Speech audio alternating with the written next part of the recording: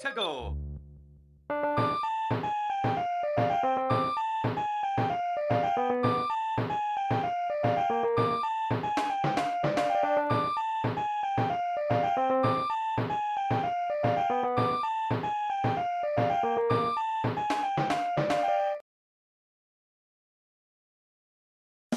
スーパーマリオメーカー2の音符ブロックを使って演奏を作りましょう。最初にワールドの大きさを最大にします。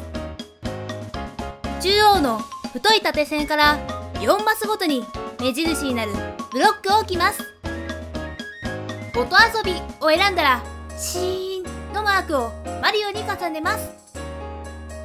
設計図を見ながら音符ブロックを並べます。音符ブロックは長押しして色付きのものに変えます。敵またはアイテムを置いた後同じ位置に雲を重ねます。最後にマリオが移動する床を設置します。今回使う床はこちらです。次は設計図を表示します。動画を止めながら作ってみてください。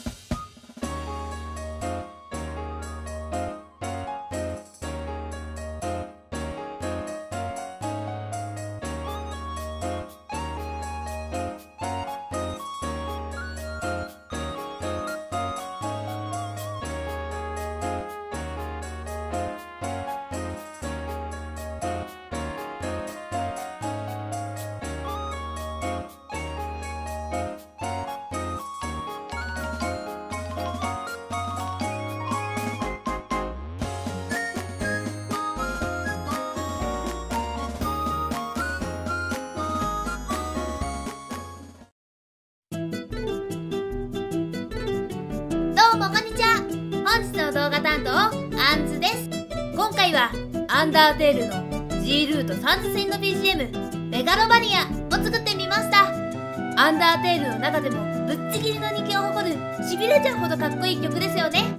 今回の回路ですがマリオメーカーのドレミの制限に引っかかったというかちょっとオクターブが足りなかったので別の楽器を使うことでごまかしています。